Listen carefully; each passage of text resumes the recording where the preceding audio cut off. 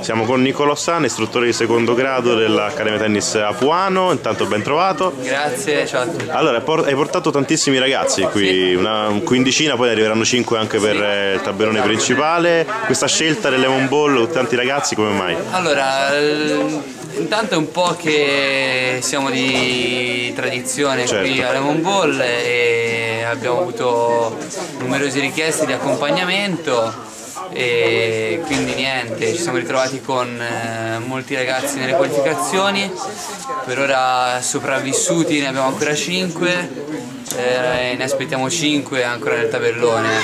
Per ora diciamo che sta andando bene questa esperienza. Come sono trovati i ragazzi qui al Lemon Ball? Sono contenti? Sì, eh? molto bene, sono contenti. Qualcuno era partito un po' titubante, magari la lontananza dai genitori e tutto, però abbiamo visto che abbiamo chiesto ai ragazzi se il prossimo anno insomma cosa intendono fare, ha detto che non ci pensano due volte a non pensare di venire, quindi deduco bene, dai.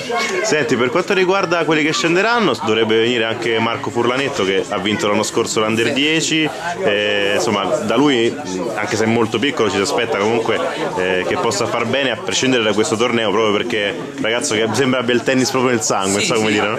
Sta, sta facendo bene, sta avendo discreti successi, se non numerosi e insomma crediamo che possa anche quest'anno fare una buona prestazione.